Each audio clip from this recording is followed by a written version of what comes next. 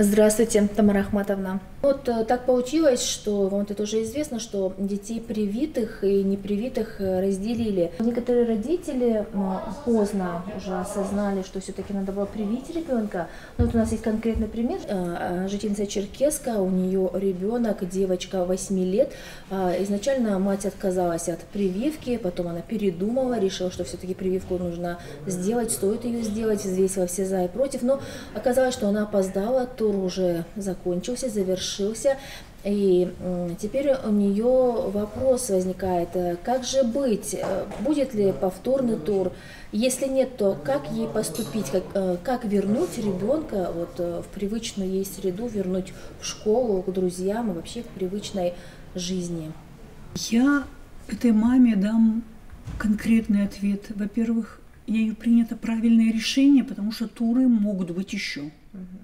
Потому что есть беженцы, есть мигранты. Мы живем в таком мире, когда перемещения населения, они ну, неотвратимы, они огромные. Угу.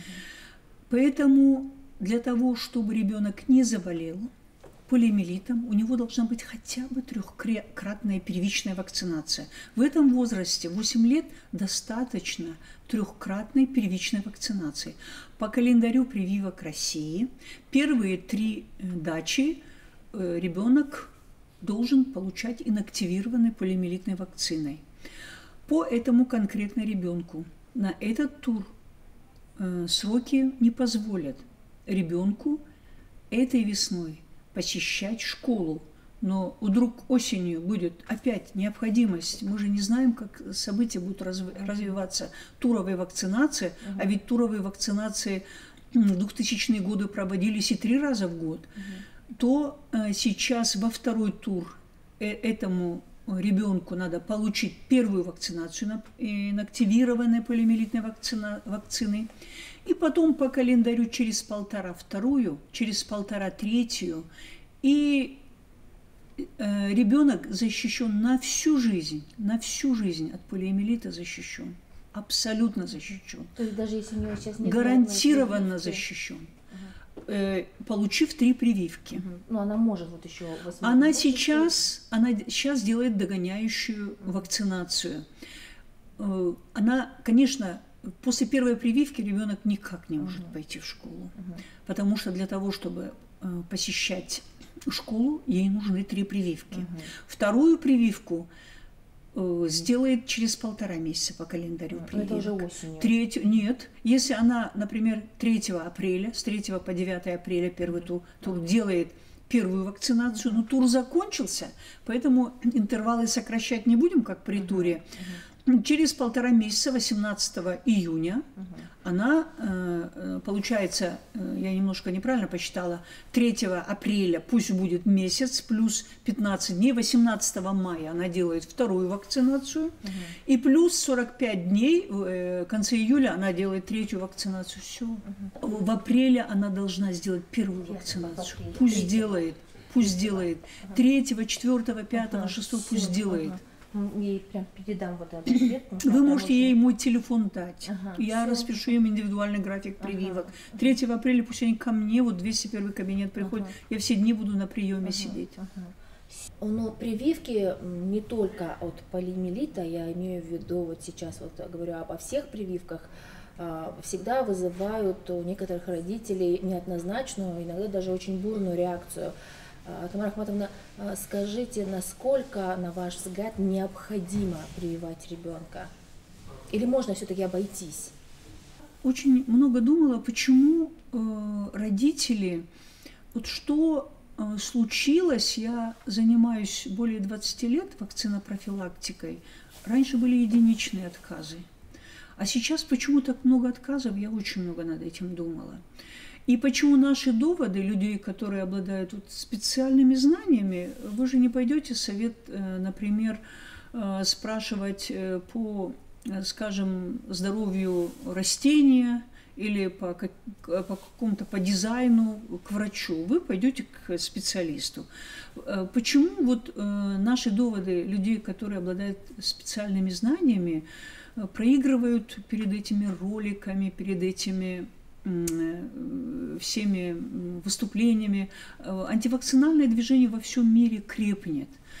Э, и вот это антивакцинальное движение, просто человечество очень быстро забывает эти эпидемии, эти тысячами ушедшие жизни, эти инвалидизирующие заболевания. Не скажешь человеку, у вас есть право умереть от столбняка, пожалуйста, не вакцинируйтесь, это ваше право. То есть мы должны разъяснять, что не надо правом не оставаться в живых пользоваться, надо пользоваться правом оставаться в живых. И я вот думаю, что, во-первых, вакцинация же массовое явление. Уже в роддоме большинство получают вакцинации. И когда массовое явление какую-нибудь проблему, которая не зависит от вакцинации, там э, наследственное заболевание, там Дауна, аутизм или ДЦП связать с вакцинацией, проще, потому что это массовое явление. Второе, почему мы в антивакцинальных, мы как бы специалисты проигрываем. Э, я нашла этому вот такой ответ.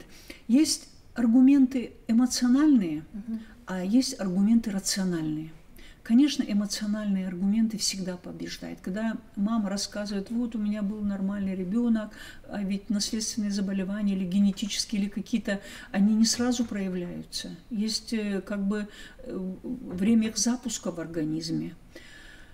Вот. И когда они начинают со слезами рассказывать реальные печальные истории, да, и это связывает с вакцинацией, это воздействует больше, чем врач, который говорит, нет, это с этим не связано, что это не поствакцинальное осложнение. Конечно, на вакцины тоже очень редкие существуют, они все описаны, они все тщательно расследуются. И э, даже э, вот по... Я могу такой пример привести. Ведь есть люди, которые не переносят, например, укус пчелы. Угу. Они с собой носят адреналин, они знают. Но они это узнали таким опытным путем. На лбу не написано, что кто-то может, например, анафилактический шок, может быть, на простой, на обыкновенный новокаин, на любой препарат. Вакцина тоже это лекарство, но него очень редко бывает по всей России, если за статистикой, среди 3-4 анафилактических шока может быть на введении прививки. Мы обязательно, когда изучаем э, вакцинацию, мы ежегодно проводим обязательно семинары, вся угу. Карачаева-Черкесия собирается, то и анафилакти... помощь при анафилактической шоке тоже изучаем. То есть с вакцинацией есть, но они очень редкие, они изучаются, они расписаны, на какую конкретно вакцину что может быть. А то есть вы утверждаете, что прививка, она сама по себе не может привести к каким-то э, проблемам со здоровьем ребенка, а скорее всего дело в генетике.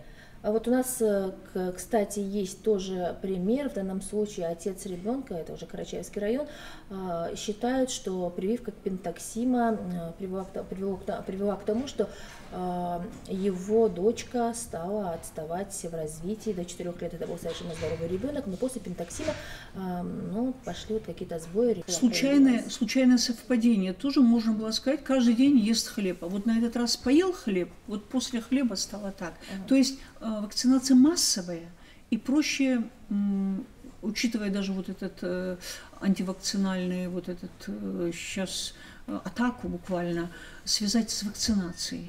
Mm-hmm. То есть аналогии есть, проще связать с вакцинацией.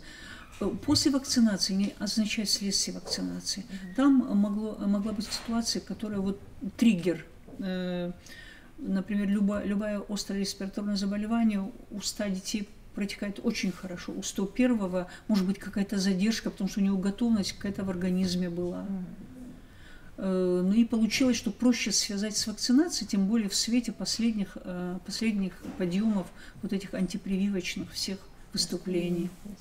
Да. Тамара Ахматовна, но полиомиелит – это ведь не единственное опасное заболевание, которого стоит опасаться родителям, и, дет, и деткам, которое грозит деткам, а скажите, какие еще опасные заболевания, как вы выражаетесь, сейчас у порога? Корь у порога. 90-99 годы э, Россия пережила э, вспышку дифтерии, что Всемирная организация здравоохранения приезжала, разбиралась и нашла, что очень много отводов от прививок и были пересмотрены медотводы от прививок. И фактически по дифтерии, по столбняку, случаи кори очень много вот, в республиках СКФУ. Когда мы направляем в Москву детей на лечение, с нас требуют обязательно вакцинацию против кори – чтобы обязательно была и у матери, и у ребенка. Если вдруг по каким-либо медотводам мы не можем ребенка э, вакцинировать, то обязательно э, медотвод должен быть оформлен от и до, почему мы его не привили. И был случай, что мы ребенка, э, ему по возрасту еще не на, нельзя было делать корь, 8 месяцев отправили в Санкт-Петербург. С этим маленьким ребенком она туда приехала, но через 8 дней закрылся закрылось отделение, куда она с таким трудом попала э, на карантин, потому что завоз был с республик Север, Северного Кавказа Кори, и закрыли на карантин. То есть вот эти все заболевания, они у порога. Вот хочу вот такую мысль сказать. Как только падает коллективный иммунитет, сразу возвращаются инфекции. Так э, возвращался полиомиелит Э, в этот, Бельгию. Так возвращался полиэмилит в Финляндию, они туровые вакцинации проводили. Возвращался как люш в Англию, в Японию, когда под напором родителей, там, неправильных э, решений вот, прекратить прививки, несколько лет и накапливается непривитая, как э, прослойка. Угу. И вирус, который попадает, находит значит, непривитая, в конце концов, когда происходит контакт, и пошло-поехала эпидемия. Поэтому э, человечество вакцинозависимо. И аргументов против вакцинации нет и не должно быть. Просто э, показания, вот у нас есть журнал противопоказаний к вакцинации. Если у ребенка какая-нибудь проблема, ему предстоит операция или послеоперационный период, то медотводы и федеральные центры делают, и мы делаем. Или, допустим, у ребенка какой-нибудь ну, острый процесс идет, например, почки или что, мы тоже не прививаем. А 95% детей должны быть привиты. Ведь старшие, э, вот эти, старше 10 лет так и привиты дети. Так и привиты дети. 97, 98, 99 процентов. Это вот случилось вот последние 10 лет, вот такая антипрививочная ситуация. Тамара Ахматовна, еще раз огромное вам спасибо за участие в нашей программе, а самое главное за интересный и очень важный и такой полезный рассказ. Вам спасибо, что вы э, эти темы поднимаете, если даже одна мама примет решение вакцинироваться, это будет защита прав ее ребенка на здоровье и на жизнь. Напоминаю, что сегодня актуальное интервью нам давала доктор, которую даже не нужно представлять. Это всем известная и всеми любимая Тамара Ахматовна Майпанова. До новых встреч!